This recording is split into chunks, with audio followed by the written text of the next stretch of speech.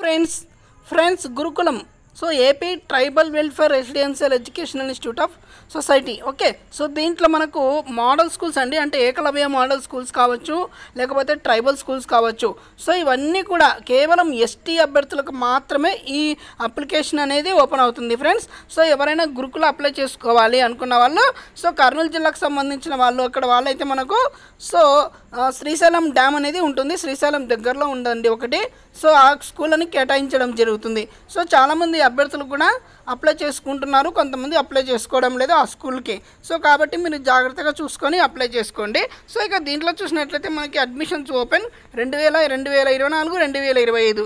So SOE COE school of education college of education so eighth class మరియు ఇంటర్మీడియట్కి ఉన్నాయి.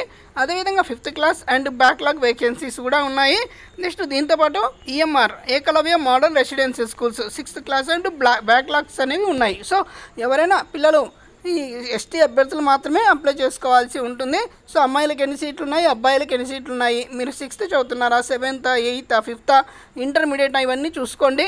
So మీకు ఖాళీలు ఉంటే అప్లై చేసుకోండి. ఓకే? సో దీనికి ఎటువంటి ఫీజు పే పే చేయాల్సిన అవసరం లేదు. సో మీరు ఆన్లైన్ చేసిన వాళ్ళకి ఒకటి పేమెంట్ పే చేస్తే సరిపోతుంది.